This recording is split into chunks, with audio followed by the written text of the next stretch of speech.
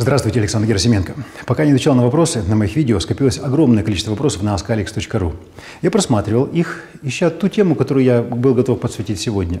И мне сначала попался вопрос, Александр, в чем секрет построения отношений? Я пропустил его, потому что секретов нет, в нем совершенно понятно. Потом я к нему вернулся и подумал, видимо, секреты есть. Секреты появляются всегда тогда, когда секретами засыпается истина, и истины больше не видно.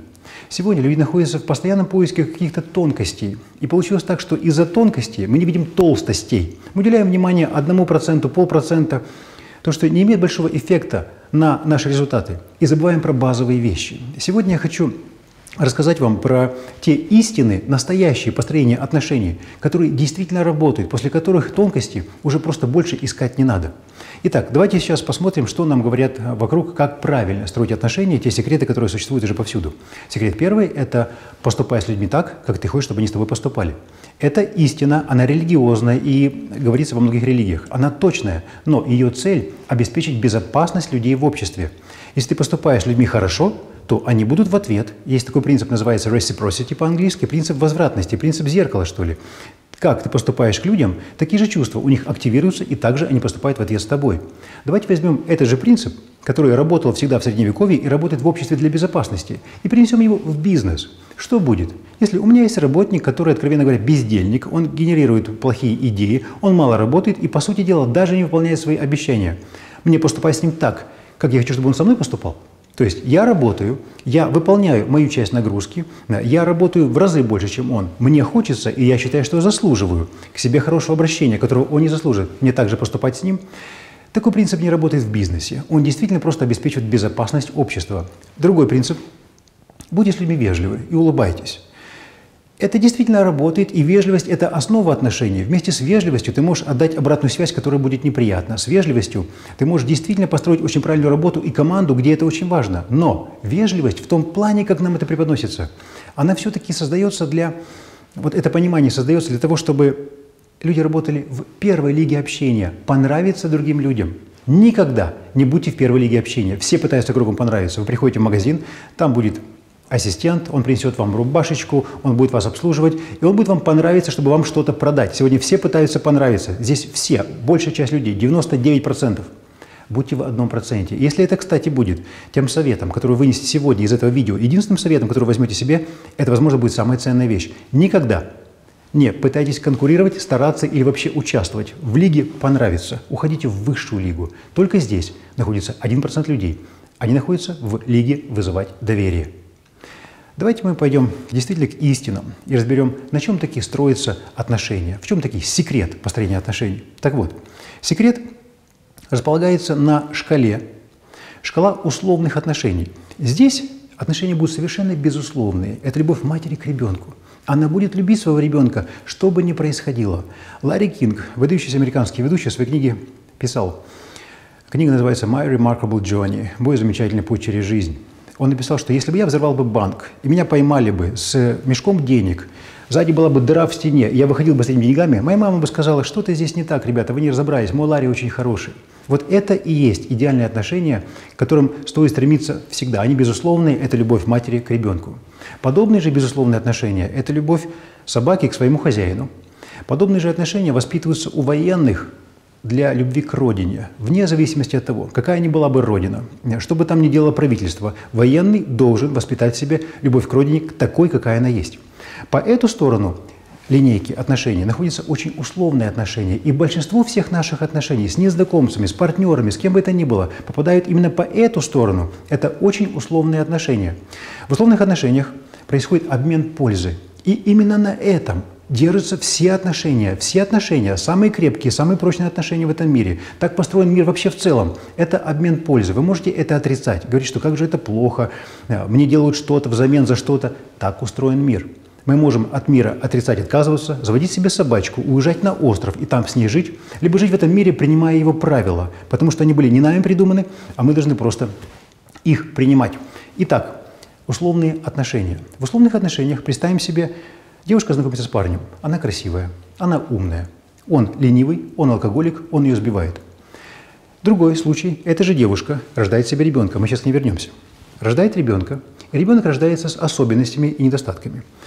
И она этого ребенка отдает, она отказывается от него. Как поведет себя общество в обоих этих случаях? В случае с мужем, который бьет свою жену, все скажут ей, чего ты с ним живешь? Брось его, зачем он тебе нужен? Общество понимает условность отношений и подталкивает человека принимать эти условности. В этом же случае, какая бы там девушка ни была, если жена откажется от своего ребенка, общество отвергает ее. Все будут ее осуждать, потому что в нас заложены отношения. Либо они будут безусловные, либо они будут очень условные.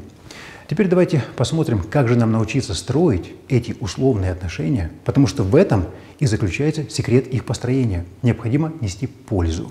Весь мир переплетается тканью, тканью, по которой происходит миграция четырех видов пользы. Польза первого типа – информационная – есть люди, которые знают больше нас. Есть люди, которые обладают информацией. Информация в этом современном запутанном мире, сложном, очень ценна. Благодаря информации жизнь упрощается в разы. Благодаря информации вы можете больше денег заработать, вы можете сделать те вещи, которые вы всегда хотели сделать. Информация сегодня очень-очень ценна, и есть люди, которые информацией обладают. Именно поэтому они сплочают большое количество других людей вокруг себя, потому что они так ценны. Следующий вариант пользы – это польза эмоциональная. Эмоциональная – это просто поднять человеку настроение. Здесь, кстати, есть очень хорошее правило, используйте его.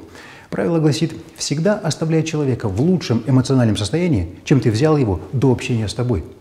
Это правило работает, потому что хорошее настроение, позитивные эмоции вырабатывают в сознании человека нейротрансмиттеры, и его сознание меняется буквально за секунду, как только у него улучшилось настроение. Посмотрите, видно, как люди ценят э, свои эмоциональные состояния по количеству просмотров видео на YouTube. Есть песня, называется «Деспасито».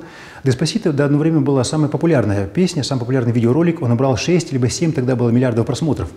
И что это, очень умный ролик, там какие-то умные красивые вещи говорятся? Ни в коем случае. Они даже не пытаются участвовать в жанре информационном. Они работают в жанре эмоциональном. Там красивые бразильские девушки, там хорошие эмоциональные ребята, там показывается океан. Это все, что нужно человеку, чтобы его эмоции дали ему положительный заряд – Эмоции отличает от информации одна интересная вещь. Если информацию, когда ты получаешь, ты потом можешь ее реализовать, и твоя жизнь потом улучшится, то эмоции делают твою жизнь сразу, сейчас лучше. И мы не можем отрицать эту эмоциональную пользу.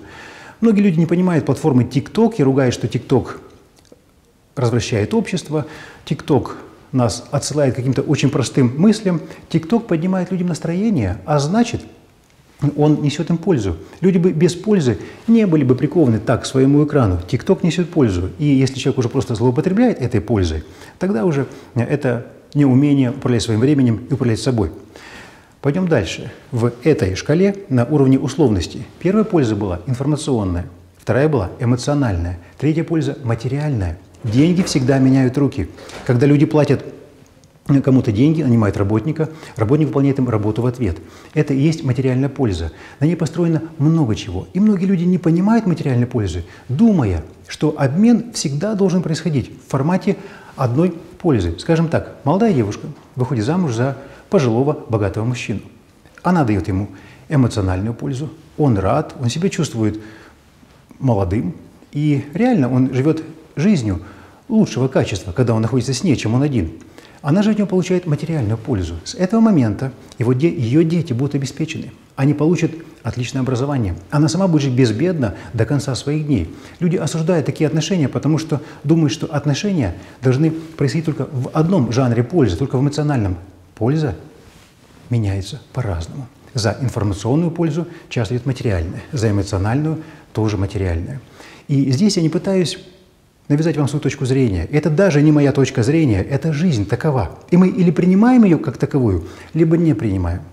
И четвертый вариант несения пользы – это социальная польза. Социальная польза – это если вы знаете кого-то, кто обладает информацией, если у вас есть инвестор, который инвестирует деньги в бизнес вашего друга, если вы знаете кого-то, кто поднимет настроение вашему другу, вы сводите их вместе, и вы несете очень высокую социальную пользу. И я резюмирую здесь. Если у вас есть все-таки мысль, правильно строить отношения. Всегда полагайте, что ваши отношения со всем окружающим миром очень при очень условны. Это нехорошо, это неплохо. Так устроен мир. И для того, чтобы правильно строить очень сильные отношения, несите максимальную пользу в четырех главных жанрах – информационное, эмоциональное, материальное и социальное. Сплочайте людей друг с другом. С вами был я, Александр Герасименко. До встречи.